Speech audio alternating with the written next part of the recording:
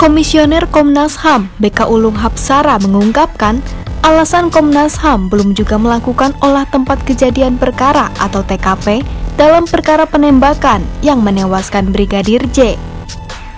BK menjelaskan, Komnas HAM saat ini masih terus mengumpulkan keterangan dan bahan yang bisa menjelaskan peristiwa yang terjadi di TKP, termasuk orang-orang di sekitar Irjen Verdi Sambo.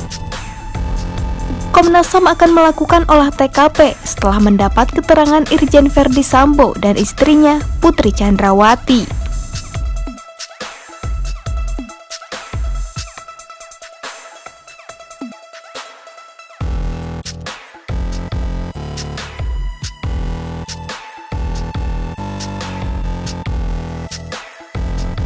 BK juga menjelaskan keterangan yang dikeluarkan oleh Komnas HAM bisa saja berbeda dari keterangan yang dipublikasikan pihak kepolisian, khususnya keterangan awal yang dipublikasikan pada 11 Juli oleh Mabes Polri.